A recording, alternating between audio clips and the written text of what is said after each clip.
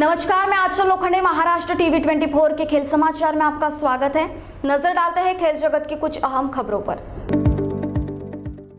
अंतर्राष्ट्रीय javelin throw महिला खिलाड़ी गुरप्रीत कौर इंसा अब देश के लिए बेहतरीन जेवलिन थ्रोअर तैयार करेगी। उनकी शानदार उपलब्धियों और बेहतरीन खेल शैली की बदौलत भारतीय खेल प्राधिकरण ने केन्या में होने वाली वर्ल्ड जूनियर एथलेटिक्स चैंपियनशिप में भाग लेने वाली भारतीय जेवलिन थ्रो टीम की कोच नियुक्त किया है।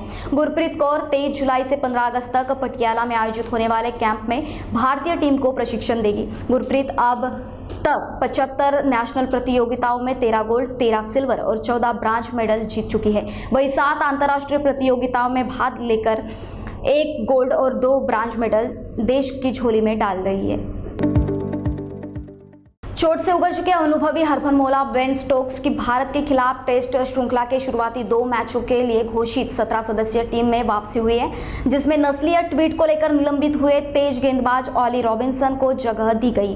भारत के खिलाफ 2016 में अपना पिछला टेस्ट खेलने वाले सलामी बल्लेबाज हसीब हमीद की भी टीम में वापसी की गई। श्रृंखला का पहला टेस्ट नॉटिंगहम में चार अगस्त से शुरू होगा, जबकि दूसरा मैच बारह सोलह अगस्त तक लॉर्ड्स में खेला जाएगा। कोहनी की सर्जरी से उबर रहे जोफ्रा आर्चर और एडी की चोट से पीड़ित क्रिस वोल्क्स अभी मैच के लिए फिट नहीं है।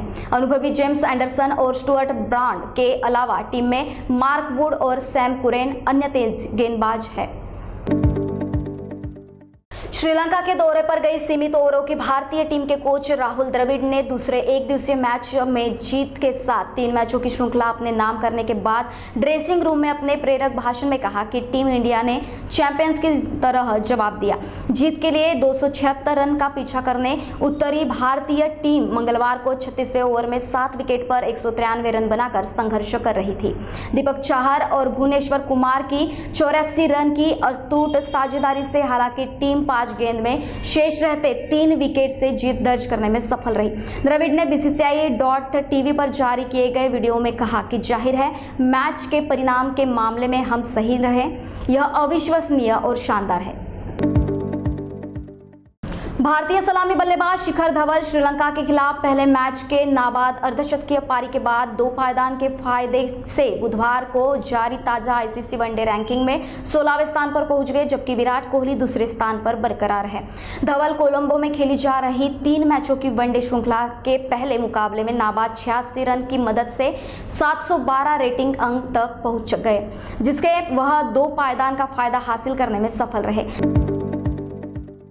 मॉस्को खेल पहले ओलंपिक खेल थे जिनका आयोजन पूर्वी यूरोप में किया गया। संयुक्त राज्य अमेरिका की अगुवाई में 60 से अधिक देशों ने खेलों का बहिष्कार किया और इसका कारण सोवियत संघ का अफ़गानिस्तान पर हमला करना था।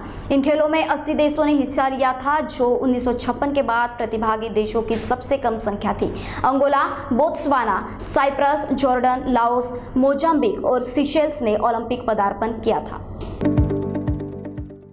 खेल समाचार में फ़िलहाल के लिए इतना ही। आप देखते रहिए महाराष्ट्र टीवी 24 नमस्कार।